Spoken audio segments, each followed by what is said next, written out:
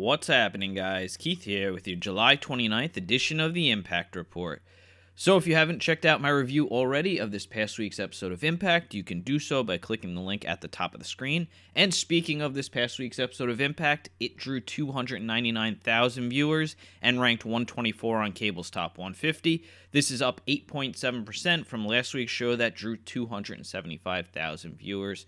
I'm a little surprised that this wasn't a more viewed show, as there was a lot of positivity from Slammiversary with a lot of people saying they were going to check it out. However, here we are. Um, so moving on over to the YouTube page, the uh, top three viewed clips of this past week's episode of Impact. Number three was Austin Aries wants a match with Anthony Carelli student that had 82,000 views. Uh, number two, Scarlett Bordeaux's Red Hot debut, 93,000 views.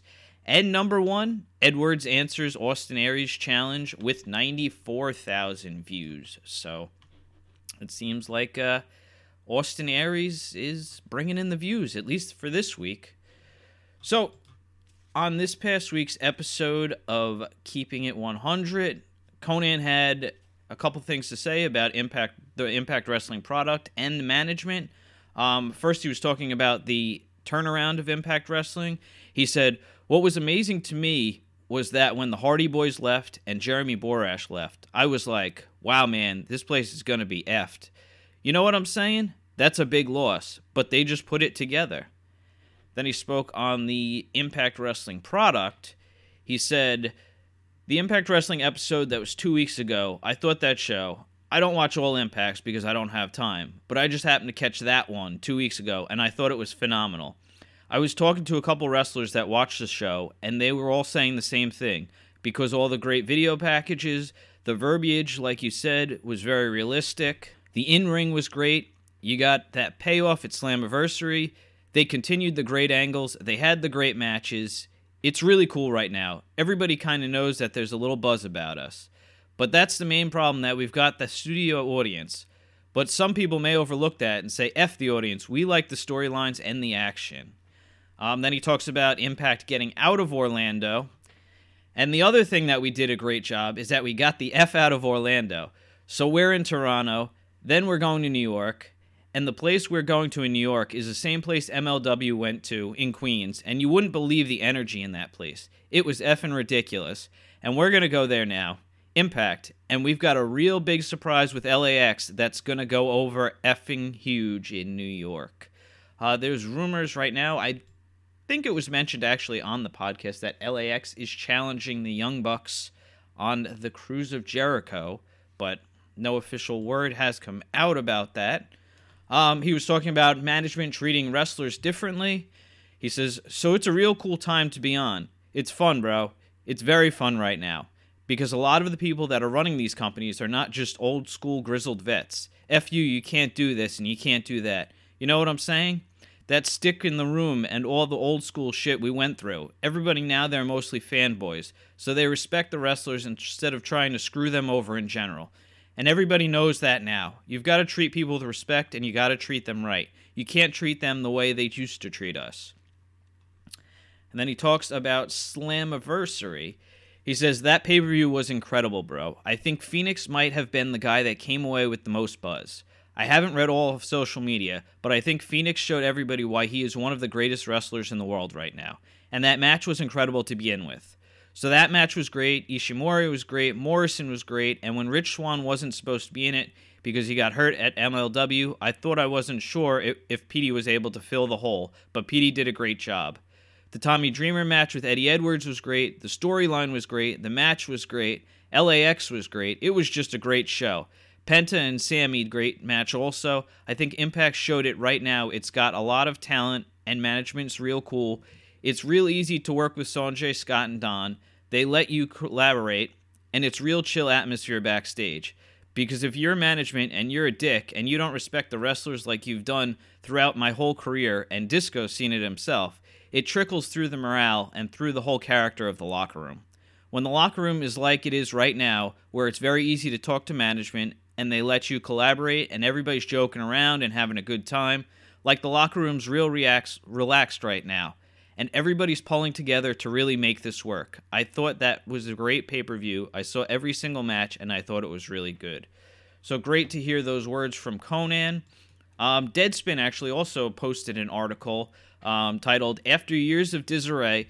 Impact Wrestling is finally getting it together. I'm just going to read you guys a little bit from the article and then I'll leave the link down below.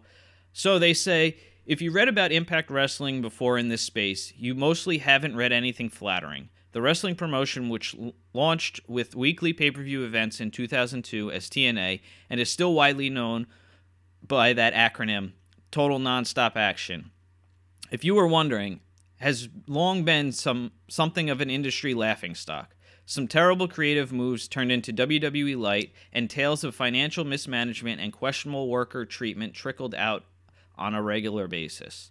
The promotion was clearly not in good health, in short, and a dizzying parade of stories about the company's level of debt in fall of 2016 sealed the deal.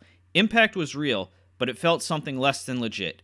This wasn't quite new. Either the promotion had long occupied a strange space in which, regardless of who worked there, it was near impossible to draw paying fans, even if Impact talent could draw significant interest outside of the company.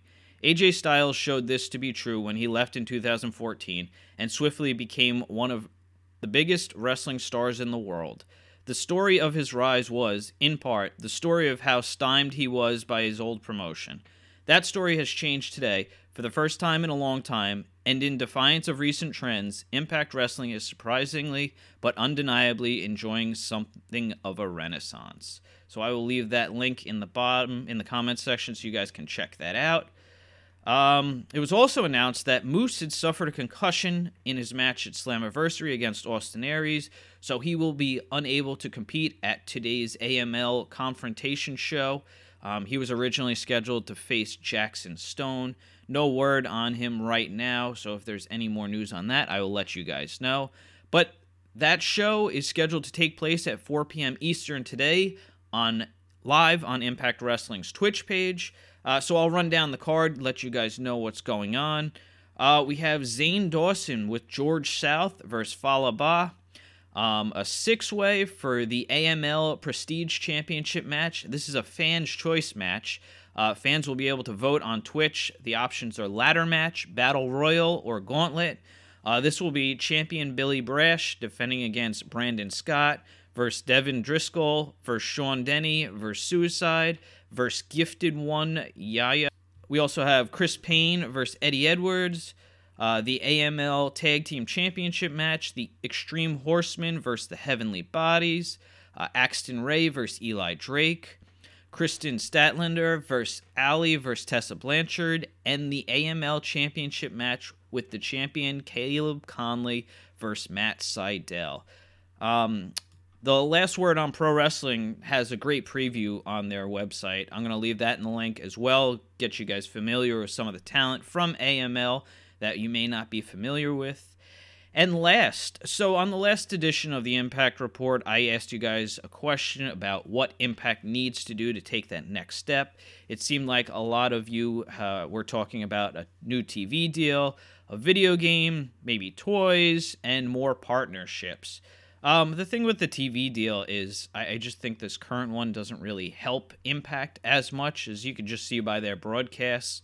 It's Impact doing the work to promote Pop rather than Pop promoting Impact on probably any other part of the day. Uh, the video game, I don't know if that is feasible right now, just with the, uh, I don't know if there's any copyright deals with things because not everybody is contracted under Impact Wrestling. You guys might know better about that one. Uh, toys, probably the same thing, even though I would love to see that because uh, wrestling toys were a huge part of my childhood. That is some of the things that kept me interested in the product. And more partnerships. Well, it seems like uh, they're always moving for more partnerships. Um, possibly something going on with Ring of Honor, with the stuff that's been going on between, you know, Austin Aries and them and the Cruise of Jericho. Hopefully, something leading with New Japan, with Taiji Ishimori coming back. So, hopefully, we'll see more there. But, uh, yeah, that's pretty much all, all I have for you guys today. Um, I will probably see you guys back on Friday for my review of next week's episode of Impact. So, thanks for checking out my video. And until then, don't forget to like, share, and subscribe. Thanks, guys. Bye.